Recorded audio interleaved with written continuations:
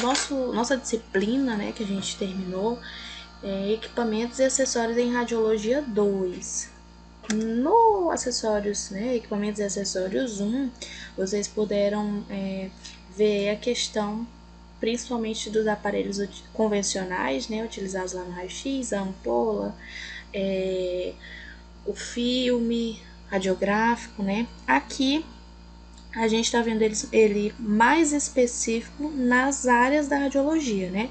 No caso da mamografia, radioterapia, ressonância, tá bom? E tudo de uma forma bem superficial, só para a gente pontuar aí quais são esses equipamentos, esses acessórios utilizados, porque a gente tem a matéria específica de cada área dessa, né? Então aí dentro dessa matéria é que a gente aprofunda mais e entende direitinho o que, que acontece tá? Quando a gente fala aí no processo de aquisição de imagem digital, né, é, ele aí é mais comumente utilizado nos aparelhos de mamografia, né, que são aparelhos aí que exigem maior qualidade da imagem, né, por conta aí da, da questão que o que a gente quer visualizar é minúsculo, né, então a imagem tem que ter uma qualidade aí mega boa tá? Os mamógrafos aí, né, é, são os aparelhos utilizados nos exames radiológicos que vão fazer o estudo da mama. A gente estudou bem bonitinho na matéria de mamografia, né, que são exames aí gerados através de uma exposição da mama da, do paciente, né, às radiações ionizantes, né, onde a gente sabe qual o papel fundamental da mamografia, que é a identificação e a localização né, precoce de alguns tumores malignos, né, que podem ser resolvidos aí, minimizados, se forem encontrados no início do seu desenvolvimento, né. É utilizada também aí como um diagnóstico pré-cirúrgico, né, e são gerados através desses aparelhos aí, essas imagens, os chamados mamógrafos, tá? Então, o equipamento em mamografia chama-se mamógrafo, tá? Eles apresentam aí recursos semelhantes aos apresentados nos aparelhos de raio-x convencionais, né? Mas tem toda uma tecnologia aí direcionada para os tecidos mamários, né? Tem aí uma arquitetura diferente do aparelho de raio-x convencional, tem características específicas no tubo de raio-x e no feixe, né? Como a gente. E, e, também no filme, né? Como a gente vai ver mais na frente, teve até no estudo dirigido sobre a questão do molibdênio, né? E tem uma, um sistema de alimentação de energia elétrica e controles típicos, né? Que a gente vai ver aí a questão de todos os acessórios que a gente encontra no mamógrafo tá? Sobre a questão da evolução dos aparelhos, a gente estudou até na, na matéria de mamografia que antigamente a mamografia era realizada em exame, é, em aparelhos, né, de exames de raio-x conven raio convencional. Com o passar do tempo foi que foi tudo evoluindo e foi criado aí o mamógrafo, tá? É, a questão do molibdênio é que ele é um elemento químico né, importante para a radiologia, que ele é especificamente utilizado na mamografia, né? Ele é, é um elemento aí utilizado como um alvo na ampola de raio-x, que produz aí umas imagens mais adequadas, né? Ele produz um raio-x mais adequado para radiografar as mamas, tá? Então o molibdênio vai estar tá aí presente especificamente na mamografia, tá? Para o estudo das mamas. Aí a gente tem a imagenzinha de, de um mamógrafo, né? E a gente vê aí um, uma parte, um acessório do, do mamógrafo, como a placa do filme, tá? A gente tem vários dispositivos de alta eficiência, né? Que vão desde o material da construção desse tubo de raio-x até os detectores que têm altas sensibilidades, os filmes são mais sensíveis, as reveladoras são mais adequadas, né? E temos também a questão das imagens digitalizadas, né? Isso aí vai permitir a qualidade do exame, né? E para a gente ver aí também a diferença das características anatômicas da mama, tá? Como formato, tamanho. a densidade tecidular, tá? É, eu acho que tá na próxima. Mais na frente tá a imagem do, do aparelho bonitinho, tá? Os mamógrafos, eles têm aí o tubo de raio-x, como na, no raio-x convencional, né? Que vão gerar o feixe e vão atravessar a mama e gerar uma imagem lá no filme radiográfico, que por sua vez vai ser, no caso da convencional, vai ser aí é, processada, né? Passa por aquele por aquele trabalho lá da imagem, a imagem ser gerada dentro da processadora, tá? Aí a gente tem uma imagem da questão da formação do feixe de raio-x, tá? E a questão do filamento de tungstênio, o catodo, os elétrons, o ponto, fo ponto focal, o anodo, como que é formado aí que não sei se é vocês ou se é outra turma que já terminou de ver essa matéria que tá faltando. Vocês terminaram de ver, né, a geração de como que é formada a radiação? Já, sim. Então é sim. outra turma que parou na metade por conta da pandemia. Aí a gente vai para a questão da estativa, né? O que, que é estativa? A estativa, ela tem aí um braço no qual está fixado o conjunto formado pelo tubo de raio-x e o sistema receptor do sinal que gera a imagem, no caso o porta-chassi. Né? Essa estativa aí permite a rotação né, do conjunto tubo receptor, onde gera e onde é recebida a imagem, né, gerada a imagem, aí numa, num grau de 180 a 90 graus para os lados, além de permitir a regulagem da questão da altura, né? Permite ainda inclinação, né, para frente, para trás, o que permite aí aproximar a incidência da região da mama mais próxima ao tórax, né? E ela possibilita a realização de qualquer incidência, independente das características morfológicas do paciente, independente do estado de saúde do paciente, tá?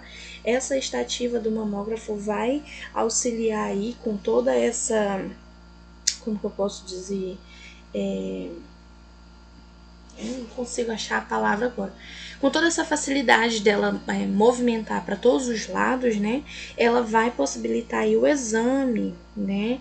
É, para pacientes que são mais baixos, pacientes mais altos, pacientes que não conseguem ficar de pé, né? Então, isso daí vai facilitar muito para que não exista aí a questão da repetição de exposições do paciente devido a uma incidência inadequada, tá? Pode ser que aconteça? Pode ser.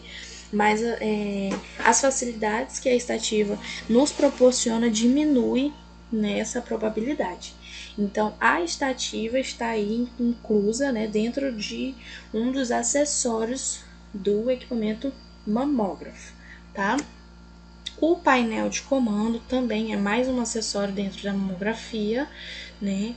Ele permite aí ao profissional que selecione os parâmetros de acordo com as características do exame que ele vai realizar, tá? Lá atrás daquela paredinha ali está o painel de comando, lembrando que todos os comandos que tem lá que a gente possa movimentar o mamógrafo também tem diretamente no aparelho, tá?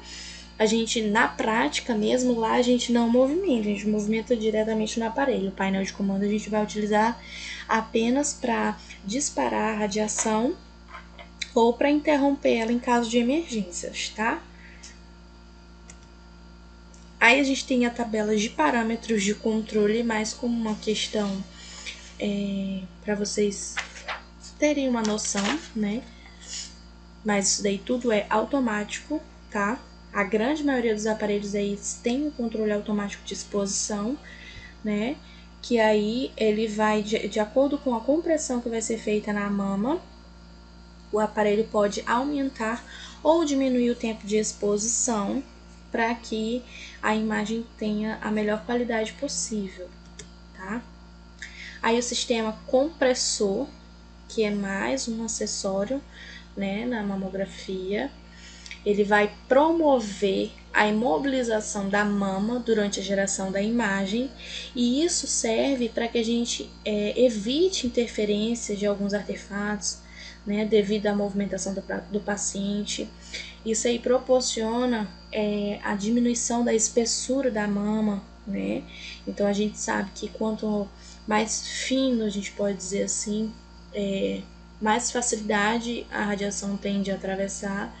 E outro, é, outra vantagem aí do sistema de compressão é que ela vai é, espalhar bem os tecidos da mama, né? Vai diferenciar bem.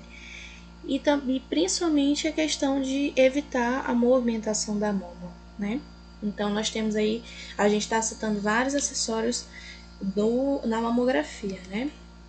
As grades antidifusoras, né, são muito importantes na questão do aumento do contraste né, e na eliminação de uma grande parcela de radiação espalhada, com consequente redução de ruídos na imagem, tá?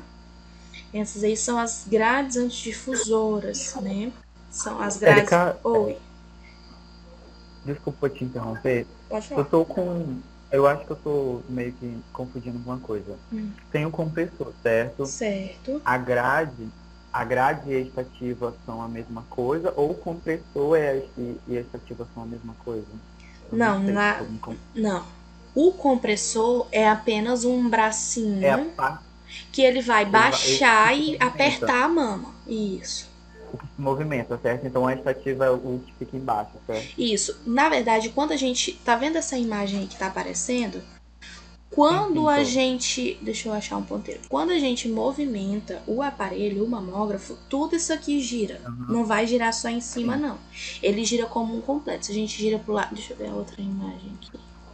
Ó, isso aqui vai girar como um completo, tá? Porque a radiação sai daqui, isso aqui é o compressor, a grade fica aqui dentro trabalhando como se for uhum. é para não haver radiação secundária, né? Ela vai filtrar aí uhum. para a radiação ficar focada só ali na mama.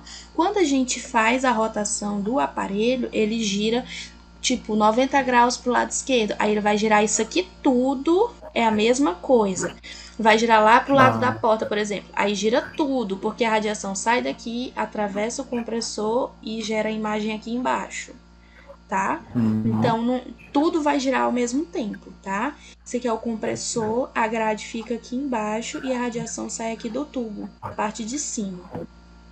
Uhum. Então, quando a gente gira, gira tudo junto, tá? Uhum. Não, mas no caso, eu tô, eu tô me confundindo com a estativa. Você acabou de falar dela. A hum. estativa se localizar onde, precisamente? É isso que eu quero saber. Ah, entendi. Ó, a gente vai diferenciar de novo na imagem. A imagem fica mais fácil. Aqui em cima, estativa, hum. a gente chama. Sabe o, a, o raio-x convencional? Sim, sim. Não tem um negócio lá na parede, quadradinho, que é onde o paciente fica na frente, posicionado, sim, e tu coloca. O nome daquilo é estativa. Uhum. O nome daquilo é estativa. Sim. Aqui a estativa é a mesma coisa. É onde fica a grade, o chassi, entendeu? É um conjunto. Ah, sim, sim, sim. Então, é, era isso que eu tava me confundindo. Entendeu? Eu achava que era só a grade. Então, é esse conjunto todo. Isso, aí. é onde a gente coloca o, o chassi com o filme, é onde tem a grade, tá? Tá, tá ok, tá ok. Beleza. É que agora que eu entendi Valeu. a tua pergunta. tá. Aí a gente tem o sistema gerador da imagem física, né? Onde a gente vê que uma boa imagem de, de mamografia, ela tem que apresentar um contraste elevado, com boa definição, né? E por isso a gente tem que ter é, essa, esse processo aí de ter a gradiente difusora, do filme ser mais sensível, tá? E aí a gente vê a questão que o, o Márcio até estava falando da diferença dos filmes da mamografia, né? Que a gente tem dois filmes diferentes de duas dimensões, que é o 18 por 24 e o 24 por 30, mas que a gente não fica diferenciando muito não, tá? No caso da, da, da radiografia convencional, né?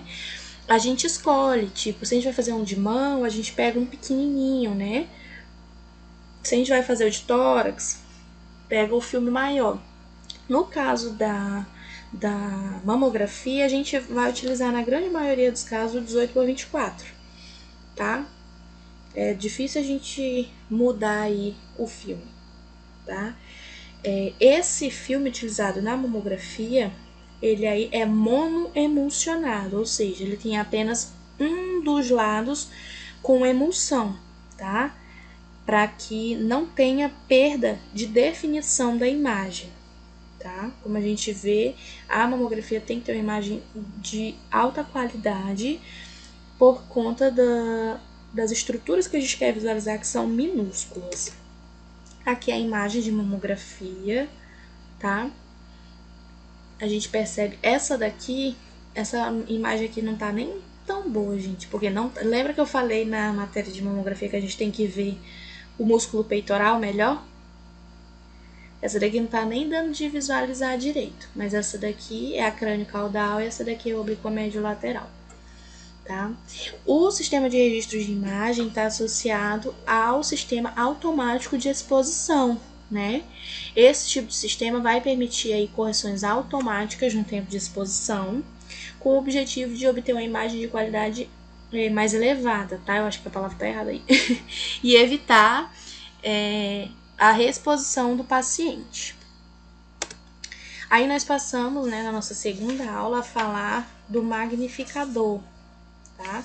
O magnificador, ele aí é um objeto, né? Um dispositivo que permite a ampliação da imagem da mama, tá? Entre 50% a 60%, né? E isso aí a gente vai utilizar quando o médico radiologista solicitar, né? Ou ginecologista, tá? Ele vai é, solicitar quando ele tiver alguma suspeita e a gente utiliza aí o magnificador para poder fazer a ampliação da região onde ele tem dúvida, tá? Para aumentar essas pequenas alterações no tecido mamário e ele estudar melhor o que está acontecendo com a paciente, tá?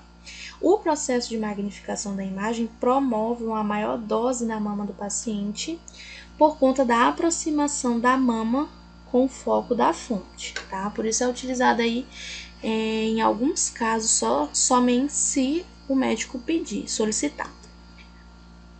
O controle automático de exposição, né? Esse sistema aí consiste num sensor posicionado junto ao receptor da imagem e detecta a quantidade de radiação que vai, é, que vai o atingir.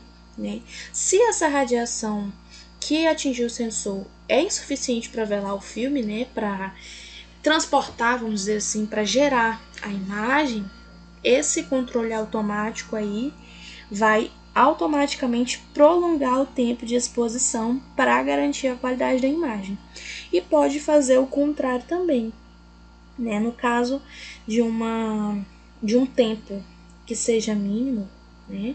Ele vai aí é, seja máximo ali, a, a, a, quer dizer, se o tempo for mínimo, o controle automático vai aumentar o tempo para que a imagem esteja, tenha qualidade. E se demorar muito e o controle automático perceber que vai ter uma superexposição né, de radiação, aí ele diminui o tempo. Tá? Ele vai trabalhar sozinho aí para que o tempo de exposição seja o adequado para que a imagem gerada seja boa mas que também não é, jogue muita radiação no paciente. Né? Foi isso que eu expliquei é, na hora que eu estava falando lá do compressor, tá? É o controle automático de exposição.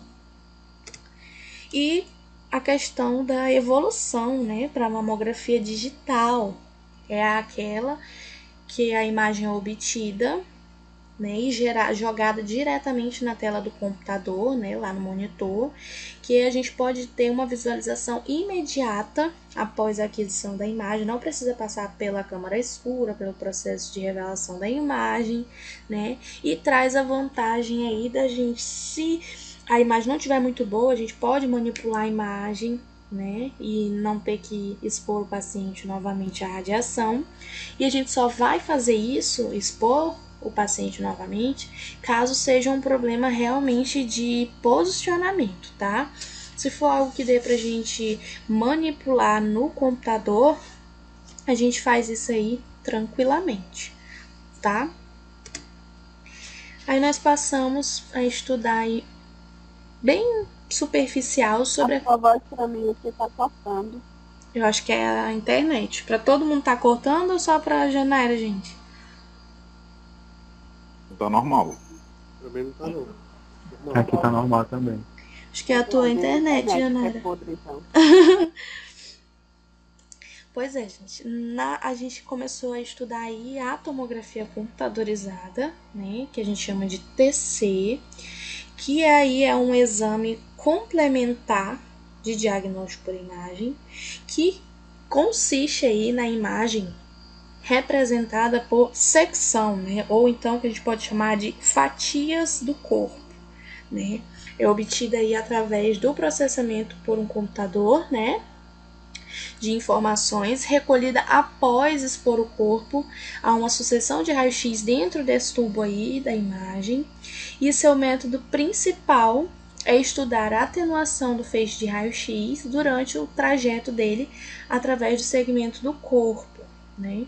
Então aí tá a imagem do tubo né, de, do, da tomografia computadorizada do equipamento, tomógrafo, o paciente fica deitado nessa nessa caminha aí, a gente pode chamar, e aí ele vai entrar aí na, no tomógrafo e vai ter, ser feita várias, é, como se fossem várias radiografias, porque a gente vai ver vários cortes, né? A gente vai fazer uma imagem de tórax, por exemplo, uma tomografia de tórax, não vai ser só uma imagem como no raio-x convencional. A gente vai ter várias imagens de vários pedacinhos, né, vários cortes, como se a gente fatiasse o corpo para poder ver parte por parte, tá? Quer falar alguma coisa? Érica. Isso, é a questão do exame. O paciente fica somente posicionado em decúbito dorsal ou pode ser em decúbito ventral também? A grande maioria dos exames é deitado em de- decúbito dorsal, tá? Porque ele é bem semelhante ao à ressonância magnética, né? Isso, isso. é- Isso. A é diferença, isso, e também a grande diferença aí E essa é questão da radiação ionizante, né? exatamente, porque a ressonância magnética não utiliza radiação ionizante. Essa, É esse, magnético. né? isso é o, o ponto chave, tá? Da diferença aí entre os dois, tá? Aí. A tomografia computadorizada ela se baseia nos mesmos pi- princípios que a tomografia convencional, tá? Segundo os quais os tecidos, né, absorvem a radiação de forma diferente. Então, o osso, né, ele vai absorver a radiação de uma forma, os órgãos de outra, né, os tecidos mais densos, por exemplo, como o fígado, né, é, os elementos mais pesados que são os ossos, né, vão absorver aí radiação de formas diferentes, né? É, e existem também os tecidos menos densos, que são aqueles que absorvem mais radiação, como por exemplo o pulmão, que ele está cheio de ar, tá? Então, a tomografia computadorizada, ela indica a quantidade de radiação absorvida por cada parte do corpo, né? Analisando aí a radiodensidade, né? E vai traduzir essas variações na escala de cinza, né? Na- nas escalas cinzentas. Na matéria de tomografia, a gente vai estudar direitinho as janelas que a gente tem né, na tomografia, nessas escalas de cinza, tá? Que são produzidas aí durante a imagem realizada, tá? E aí a tomografia se baseia também na questão do pixel da imagem, né? Corresponde aí ao menor ponto, né? Fala aí, Márcio, foi tu que falou da outra vez, o que, que era o pixel? Pixel. Gente, meus amores, preste atenção, hein? Esse aqui é a sexta questão da prova. Hum, Pixel é o menor ponto bidimensional de uma imagem 2D. Voxel é o menor ponto tridimensional de uma imagem 3D. Isso, pixel e o voxel. A tomografia vai se basear aí na questão do pixel, tá, gente? Para a gente obter aí uma tomografia computadorizada, o paciente vai ser colocado aí nessa mesa, né? E ela é- se desloca, tem um- os botõezinhos aqui, ó, do lado da, da máquina. A gente pode subir essa mesa é como se fosse uma sanfona. A gente pode subir a mesa, baixar e também é, fazer com que ela se desloque para o interior desse anel aí, que tem cerca de 70 centímetros de diâmetro, tá? Aí é onde vai estar tá a ampola de raio-x aí dentro. Nesse suporte é onde a gente chama esse meiozinho de gantry, tá? Que eu expliquei para vocês. Aí de um lado fica a ampola de raio-x e do outro o detector responsável por captar a radiação e transmitir essa informação para o computador onde é conectado. Fica numa salinha, é, a parede é de vidro, para o operador tá podendo aí ver como que tá o paciente, tá? Vocês vão poder ver direitinho lá na CEDIMP, onde, quando vocês estiverem fazendo o estágio. É super legal de ver, de, de fazer, tá? Muito bacana o estágio de tomografia computadorizada. Esses dados aí, então, vão ser processados pelo computador, que vai ana analisar né, as variações da absorção do corpo com a questão da radiação e vai reconstruir esses dados em forma de imagem, né? E aí a mesa avança mais um pouco e repete esse processo para obter uma nova imagem. E a mesa vai avançando, é questão de milímetros, né? Para a gente fazer aí as secções, né? Os cortes. Então a gente vai fazendo várias imagens, questão de milímetros e centímetros diferentes. Mas isso não, não demora, tá, gente? É bem rápido. É, os princípios físicos, né, que foi o que eu acabei de falar para vocês, da questão da tomografia computadorizada, ela, a questão do princípio físico dela é que os, os tecidos, né, do corpo, eles vão absorver a radiação de formas diferentes e por isso a gente pode observar eles, né, de uma vez só na mesma imagem, tá? As vantagens da tomografia é justamente esse estudo em cortes do corpo, né? E a questão dessa distinção entre os tecidos por, ele, por eles absorverem cada um de uma forma diferente a radiação. Tá? Essas são as principais vantagens da tomografia computadorizada. As desvantagens, né, é a questão da utilização da radiação X, né, porque ela aí tem a capacidade de arrancar elétrons do átomo por onde passa, né, a radiação ionizante, e ela tem aí um efeito negativo sobre o corpo humano, né, sobretudo pelas, por essa capacidade que a radiação ionizante tem de causar mutações genéticas, tá? Então a vantagem da TC é a questão do estudo em cortes do corpo e uma maior é, distinção dos tecidos e a desvantagem é porque utiliza radiação ionizante que né, tem um efeito negativo sobre o corpo humano. Aqui a gente foi as perguntinhas que a gente fez no final dessa aula. E agora eu vou colocar o outro slide, tá, gente? Só um minutinho. Tá, Érica, enquanto tu troca aí, eu queria só ver se eu escrevi uma coisa certa aqui. A, TV, a TC, então, no caso, se baseia no raio-x convencional, mas só que ela utiliza da força eletromagnética, da força magnética, é isso? Não. Ele... E Márcio, expliquei pra ele enquanto eu procuro aqui que eu não consigo fazer duas coisas ao mesmo tempo. Hein, repete a pergunta. Repete a pergunta Não, aí, eu, tá? só, eu só quero que Ele falou da, da questão da, do elet, da questão magnética, é na ressonância. Ah, tá, tá, tá. Então eu, confundi com. Com a ressonância.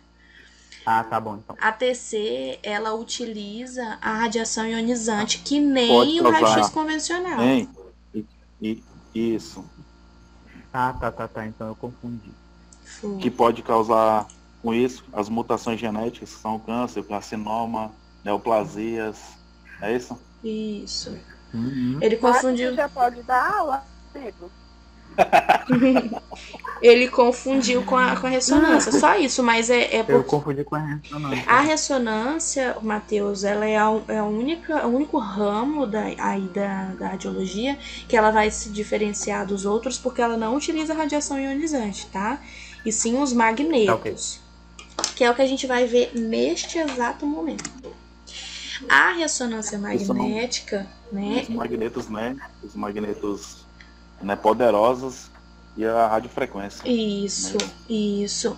É uma tecnologia aí diferente, né, das imagens não invasivas, que possuem também essa produção de é, secções, né, de cortes transversais altamente detalhadas das estruturas do corpo, incluindo tudo, os órgãos, os tecidos moles, né, os ossos, e ela é baseada aí no uso de magnetos e sinais de radiofrequência. No caso da tomografia, é utilizada radiação ionizante, que nem na mamografia, na medicina nuclear, na radioterapia. A ressonância, não, ela não utiliza radiação ionizante, é magneto radiofrequência, tá? Por isso que o uso de metais na construção do aparelho até tem que ser minimizado para evitar interferência. E é por isso que o paciente também não pode entrar com nada de metal dentro da sala de exames, tá? Vocês entenderam isso aí? A questão da diferença. Só lembrando. É questão de lembrar daquele vídeo, né, que tu postou. Isso é só, que é ele, só lembrar. Ele suga, né? Isso, É questão de ele sugar, né? A questão do, de, de materiais metálicos, né? Tudo aquilo isso. que é metálico ele suga, né? Exatamente, é por isso que é importante é, pedir para o paciente retirar tudo que ele tiver de metal do corpo, perguntar se ele possui aí marca-passo. A questão do marca-passo, agora a fabricação dele não é mais de metal. Eu não lembro qual que é o, o, o material utilizado, mas a questão não é que ele vai ser sugado de dentro do paciente, não. A questão é só de uma é, alteração né, na, no aparelho, porque ele é configurado e aí o paciente que utiliza marca-passo, que faz né, o exame de ressonância magnética, ele pode estar aí alterando o, o funcionamento do marca-passo. Tá? Antigamente não podia de jeito nenhum porque, por conta do material que ele era feito. Hoje em dia eles mudaram o material que é feito o marca-passo. O paciente até pode realizar o exame de ressonância magnética se for um caso extremo necessário, né? E se o médico dele, o cardiologista, estiver ciente, for avisado, tá? Tem que ter todo um protocolo certinho para ele poder fazer, porque corre o risco aí de alterar a configuração do aparelho dele, tá?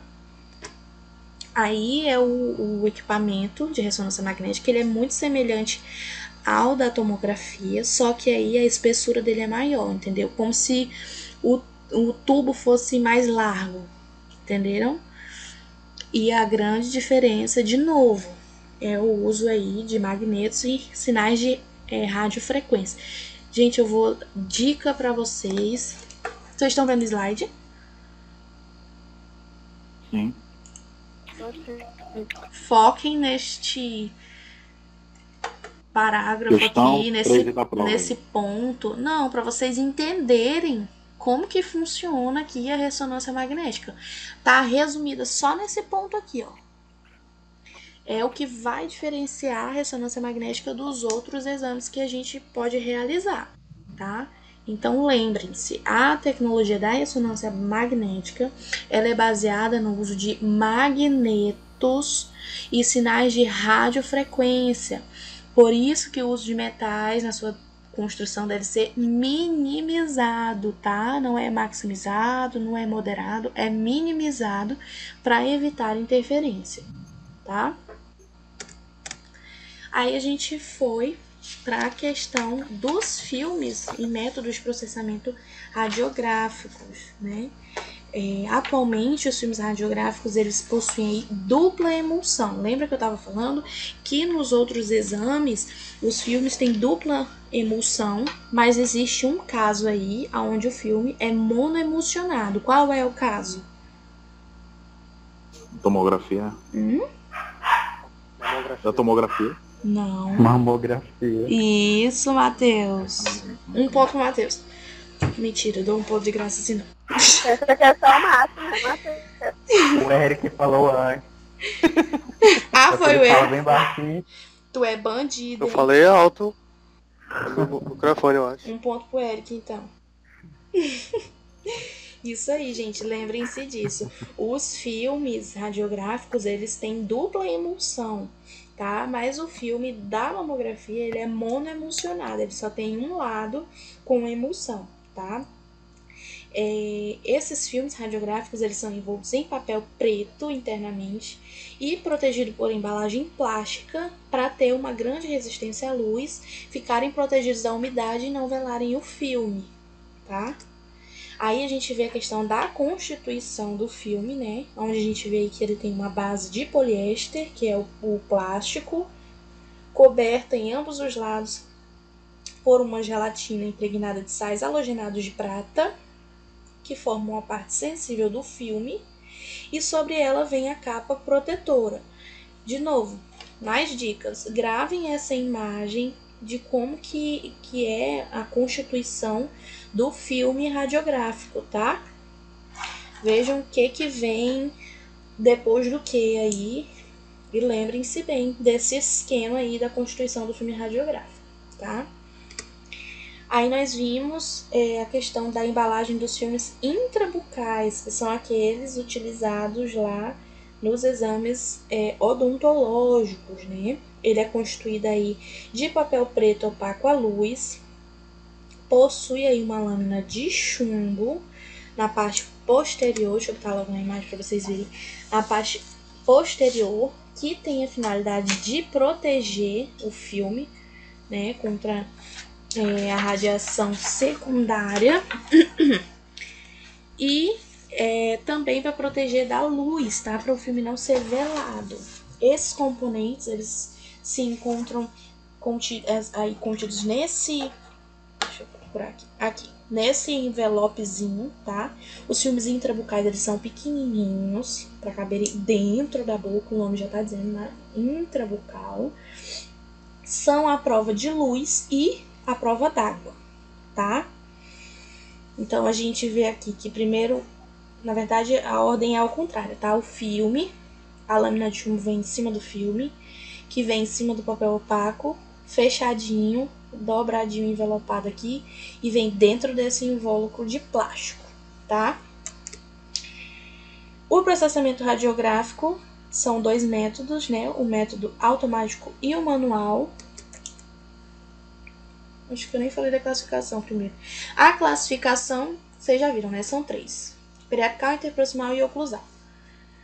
O filme utilizado em periapical e interproximal é o mesmo, mesmo tamanho. O que vai diferenciar é aí a, o posicionamento do filme, tá? Periapical a gente vê o, a coroa e a raiz do dente, interproximal a gente vê a questão da, da relação entre um dente e outro, né? a proximidade deles. O filme são do mesmo tamanho. O oclusal, o filme é um pouquinho maior para que a gente veja toda a arcada dentária.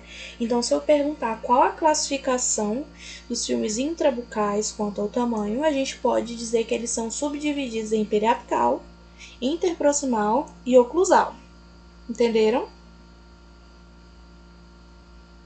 Sim. Show. Então, lembrem-se disso, tá? Dica de colega. o processo Dica de quê? de colega. Ah, tá. Processamento radiográfico, né? O processamento radiográfico ele pode ocorrer aí é, sendo no método automático e no manual, tá? Aonde no método automático o filme é removido do chassi, inserido na processadora, passa pela solução, né? Até chegar lá na colgadura, ser colocado na solução reveladora, faz o, o banho intermediário, fixação, lavagem final. Então, só aí a radiografia vai para secadora automática, tá? Aí nós temos a câmara escura, né, que está aí é, envolvida tanto na, na mamografia, no, na radiação, na radiografia convencional, né, no raio-x convencional, no odontológico também, só que ela tem aí os tipos de câmara escura, né? A câmara escura é o local para se realizar esse processamento radiográfico. Ela tem que ter o um mínimo de luz aí para não, não correr o risco de velar a imagem, né? Ter uma ventilação apropriada no caso dos que seja quarto ou labirinto. E a gente tem uma classificação de câmaras escuras, né? Os tipos de câmaras escuras, que são três portátil, quarto e labirinto, tá? A portátil, que eu falei para vocês aí que são essas compradas em casas especializadas, né? São utilizadas somente nos consultórios odontológicos, porque elas, os filmes utilizados aí são pequenininhos, então não é necessário que tenha um quarto inteiro para a gente fazer a revelação de um filme, né? A gente pode utilizar aí deixar só as mãos dentro dessa caixinha, tá? Então é a câmara escura portátil que a gente chama. O quarto, quando se faz aproveitamento de um cômodo do próprio consultório para poder fazer revelação de filmes, e o labirinto, que é a sala especializada, né, que tem alguns detalhes aí na entrada da sala para poder minimizar ao máximo a entrada de luz, tá? Aí nós temos um exemplo de sala de câmara escura, né? Alguns equipamentos a gente pode visualizar, como a mesa ou o que a gente chama de bancada manipuladora, onde tem aí é, um indicador de radiografias, onde se carrega o chassi, o porta-filme, tá? E a janelinha por onde a gente passa o filme para ele ser revelado. Aí nós temos mais alguns acessórios, né? Os suportes ou colgaduras que são que servem aí para gente é, acoplar os filmes, né, para eles serem inseridos nos tanques de processamento ou no caso da do filme intrabucal, para a gente colocar dentro do potinho. A gente só vai colocar dentro do potinho para revelação depois dela tá fixada aqui na pontinha dessa colgadura, tá? Essa daqui são para os filmes grandes, né, que a gente vai acoplar ele aqui para poder mergulhar dentro da processadora dos tanques. Professora? Oi. Professora. Pode falar? Oi, Oi, tô ouvindo. professora, o, o que é o acessório, os acessórios de, dessa, dessa, esses negócios aí, é o que as peças é da máquina? Não, isso daqui, como tá falando, a gente vai acoplar o filme, né, nessas colgaduras, para que eles sejam é, inseridos no tanque. No caso aqui é da imagem que você vai colocar dentro do tanque para o filme ser revelado, tá? Esse daqui, a primeira, são aqueles filmes grandes, quando tu faz uma, um raio-x de braço, de tórax, de perna, tá? No convencional, que aí a gente acopla o filme aqui e ele vai ser inserido no tanque de processamento. Esse menorzinho aqui é um acessório, tu não vai colocar ele, é, ele não é um acessório de dentro de nenhum equipamento. Esse daqui, essa colgadura aqui, ó, pequenininha, tu vai colocar ela, tá vendo a- essa caixinha? Tu vai segurar aquela colgadura pequenininha com uma mão, o filme na outra. Quando tu desencapar tudo que ficar com o filme numa mão e a colgadura na outra, tu vai abrir ela que nem uma presilhinha, sabe aqueles bicos de pato de cabelo? Tu vai só pregar para tu segurar o filme através dessa colgadura. Tu vai ficar segurando aqui na pontinha e o filme vai estar penduradinho aqui, para tu poder mergulhar dentro do potinho de revelador, de fixador, da água, entendeu? Sim. Beleza, na, na matéria de odonto, é, dava pra gente ver na prática mesmo, assim, levar pra sala de aula essa câmera escura, pra vocês terem noção de como que faz a revelação nessa, nessa câmera portátil, tá? Se a gente tiver a oportunidade de ter aula de odonto presencial, eu levo pra vocês. Dá pra entender melhor e treinar também, tá? Aí, nós, na no- nossa última aula, nós vimos os últimos acessórios e equipamentos utilizados aí na radiologia odontológica, né? A gente viu aí essas luzes que também não são usadas, né, só na radiologia odontológica. No caso, essas luzes são usadas lá nas câmaras escuras nos quartos, né, para poder visualizar os componentes que a gente tem lá dentro, sem ocorrer o velamento dos filmes, porque se a gente ligar uma lâmpada normal, vai velar o filme, vai ficar todo esbranquiçado, não vai dar de ver nada. Essas luzes aí vermelha vai possibilitar tu enxergar o que, que tu tá fazendo, onde que tá ah, os acessórios que tu vai precisar, sem velar o filme, tá? É o filtro de segurança, lanterna de teto, lanterna de parede, tá? pode ser chamado de qualquer um desses nomes. Aí é o tanque de processamento com tampas. Tá vendo aqui a, colga a colgadura? Aqui é onde você vai é, colocar o filme para ele ser inserido dentro da processadora. Onde a gente esse tanque é onde a gente coloca lá os líquidos de revelador, fixador, a água, porque tem um processo, né? Passa primeiro pelo revelador, passa pela água, vai fixar e depois secar, tá? Os termômetros de imersão, que é para medir a temperatura dos líquidos de processamento antes da revelação, né? Usado no método tem, é, temperatura-tempo, que a gente vai ver direitinho na questão de processamento de filmes. E como relógio alarme, que dispara aí quando o tempo de revelação acaba, tá? Que tudo tem um tempinho. O tempo que passa na, no revelador, o tempo que passa na água, o tempo que passa no fixador. Na água é só para lavar, tá? Para tirar o revelador e depois jogar no fixador. O negatoscópio, né, que é o clássico da radiologia, né, que é utilizado aí para visualizar as imagens radiográficas. Né? A gente faz o raio-x depois que ele está é, revelado, seco, aí a gente vai analisar a imagem, a gente coloca aí no negatoscópio, tá? Uma, mais um acessório na radiologia. A estufa de secagem, depois que passa lá pelos tanques, né, pela processadora, que o filme sai molhadinho, a gente coloca na estufa de secagem para secar as radiografias, tirar todo excesso de água, né? E existem as soluções de processamento radiográfico, elas podem ser apresentadas, apresentadas aí é, de formas prontas para uso, né, líquida, concentrada, que é para ser diluída, ou em pó, tá? Que é no caso dos químicos e as características da radiologia odontológica, né? A gente vê aí que é constituído basicamente do aparelho periapical, o aparelho panorâmico, quase não sai, e um aparelho capaz de realizar as radiografias cefalométricas, tá? Então, se eu perguntar para vocês, né, do que consiste aí né, quais são as, as características da radiologia odontológica, ela é constituída aí basicamente de três aparelhos. O aparelho responsável por realizar o raio-x periapical, o panorâmico e o das radiografias cefalométricas.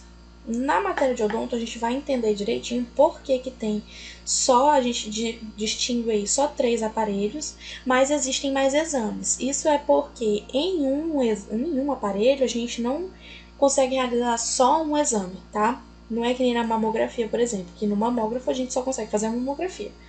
Na odonto, no panorâmico, no aparelho panorâmico, a gente consegue realizar a, a panorâmica, né, o exame panorâmico, a gente consegue realizar uma tomografia, a gente consegue realizar exame de ATM, a gente consegue realizar várias coisas num aparelho só. Então a gente coloca aí as características como se é, constitui basicamente de três: o aparelho periapical, panorâmico e o cefalométrico, tá? Lembrem-se disso. Aqui a gente tem um aparelho periapical, né, e as subdivisões dele, cabeçote, a parte elétrica do corpo, marcador de tempo. Esse aqui é um convencional, tá? Esse daqui a gente, ele dispara a radiação e vai ter que ser revelada ainda. Aqui é como que é realizada, né, uma periapical. É exatamente assim. O filme é colocado aqui, ó. Tem uma borrachinha para o paciente morder. O filme fica depois dessa borrachinha. O, o, a radiação vai atravessar o tubo bater aqui no dente e vai é, gravar, vamos dizer assim, a imagem no filme que está aqui depois do dente. Mesmo jeito aqui. Essa daqui, né, é a panorâmica, que essa paciente está realizando o exame panorâmico, tá? Nesse mesmo aparelho, esse aparelho aqui, ó, aqui a gente faz a panorâmica e aqui nesse braço articulado a gente faz a radiografia cefalométrica, tá? panorâmico vai tirar uma imagem aqui tanto da maxila quanto da mandíbula da paciente. E o cefalométrico a gente vai ter uma imagem da cabeça como um todo, né? A gente pode ter a teleradiografia, que é uma imagem de perfil, ou a frontal, que a gente pega uma imagem da, como o nome já está dizendo, né, da frente assim do rosto. Ó, a teleradiografia lateral. Aqui é o, tubo de raio-x vai atravessar e vai gravar a imagem aqui. E a frontal, tá? Do mesmo jeitinho. A radiografia interproximal, no caso, ó, isso aqui é um aparelhozinho que a gente vai diferenciar bem na, na matéria de odonto. Aqui, ó, uma oclusal, o filme fica todinho dentro da boca da paciente. Essa é uma oclusal de maxila, o tubo tá vindo de cima. Então, os dentes que a gente vai visualizar são os da maxila superior. Se fosse para visualizar os dentes da mandíbula, que é embaixo, esse tubo aqui de raio-x ele ia ter que estar ao contrário, tinha que estar saindo a radiação por baixo, tá? E fim. Oi. esse exame aí tem que usar o protetor de tireoide. Sim, existe esse esse colete dela aí é, não tem, né? Mas lá na, na clínica onde eu trabalhava já vinha acoplado no no próprio avental aí plumbífero, tá? Nesse colete aí plumbífero.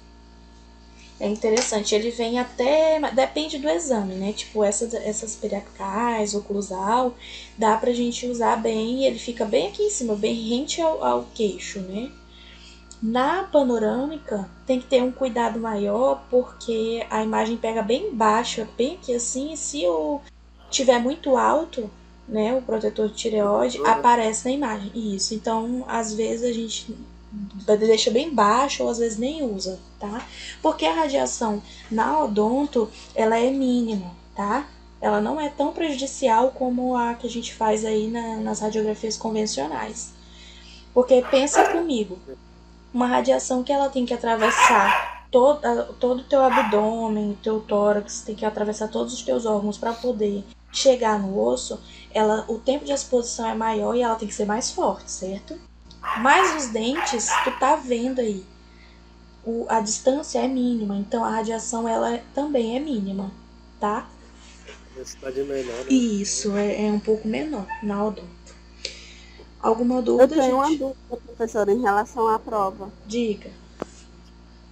Amanhã é pra gente entregar aquele exercício, né? Sim.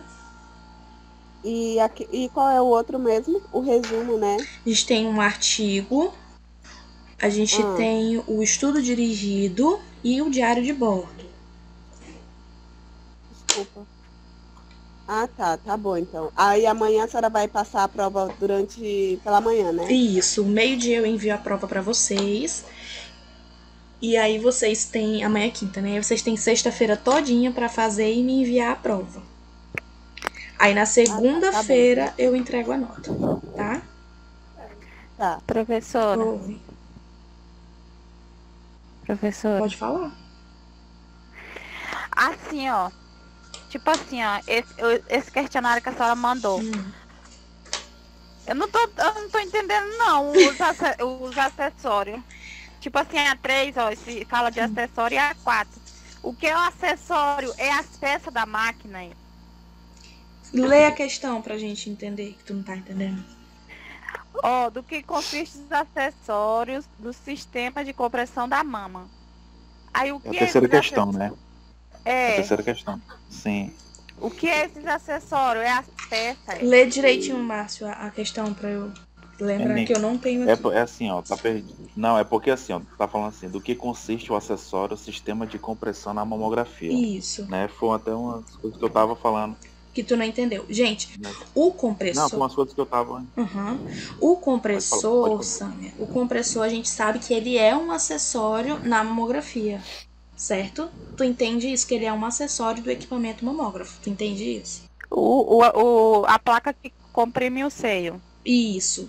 O nome daquilo é o compressor, sistema de compressão, sistema de. Entendeu? Ele é um acessório no equipamento mamógrafo. Eu quero saber o que que ele faz. E é questão Ele de promover na né? imobilização, né? Isso. O que que esse acessório Ele faz? mobiliza, ele comprime. Exatamente. No que consiste esse acessório? O que que esse acessório faz? Para que que ele serve? Entendeu? Ele serve para comprimir. E isso, ele vai imobilizar a mama, ele vai diminuir a espessura da mama. Entendeu? Ah, entendi.